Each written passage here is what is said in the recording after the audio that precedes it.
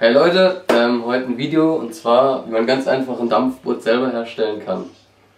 Also, was man dazu braucht, ist ein Stück Holz, das muss, kann man sich nach Form ausschneiden, das habe ich jetzt schon hier gemacht. Dann braucht man dazu vier Nägel, vier gleich lange Nägel, ähm, ein Teelicht und ein Ei. Das Ei muss man ausblasen, das habe ich jetzt gerade eben auch schon gemacht. Aber wie man Ei ausbläst, weiß ja fast jemand und sonst gibt es dazu im Internet sicherlich viele Anleitungen. Also das Teelicht stellt man dann dahin und dann macht man alle vier Seiten vom Teelicht einen Nagel rein. So, dann muss man gar nicht so fest, so dass es halt gut hält. So, hier ist schon ein kleines Löchlein, das passt der perfekt rein. Und jetzt noch hier. Ich lege das einmal weg, dass es nicht kaputt geht. So. Also wenn man das jetzt so gemacht hat, dann kommt auch das kleine Loch bei dem Ei. Da gibt es ein kleines, ein großes Loch.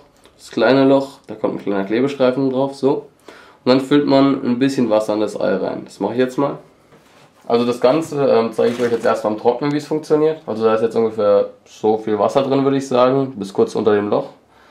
Dann lege ich das so da drauf, mit dem Loch nach hinten und dem zugeklebten Loch nach vorne. Dann zünde ich mal das Teelicht an. Und dann werdet ihr wahrscheinlich schon sehen, was passiert.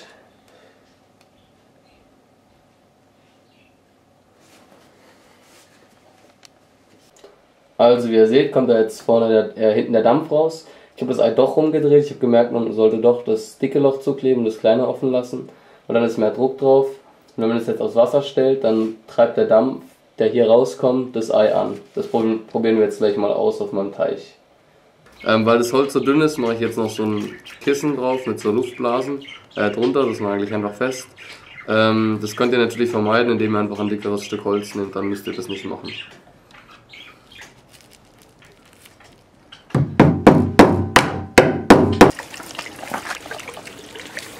Ups, jetzt probieren wir das Ganze mal aus, ob das auch funktioniert.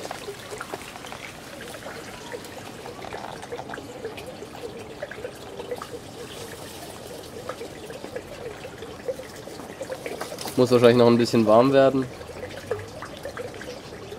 Also da jetzt hier ein bisschen Wind ist und die Flamme von der Kerze mal weggepustet wurde, habe ich auch noch so zwei, drei Streichhölzer dazugelegt, dass die Flamme größer wird. Und jetzt müsste es auch langsam fahren. Das ist jetzt noch, weil ich es angestupst habe, aber jetzt gleich.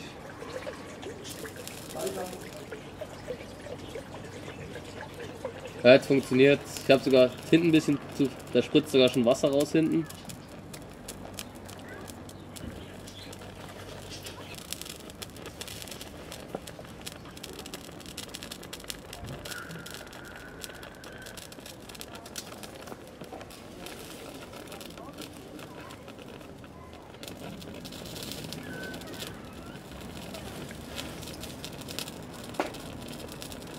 Also wie ihr sehen könnt, funktioniert, jetzt, funktioniert das jetzt doch ganz schön gut.